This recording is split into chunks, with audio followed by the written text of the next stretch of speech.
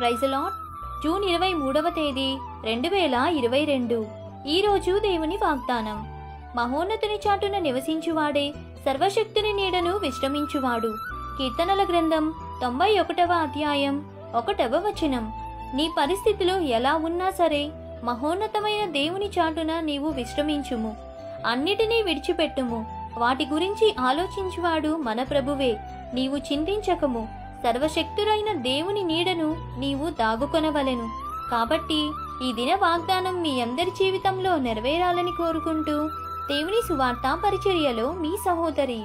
Amen. God bless you.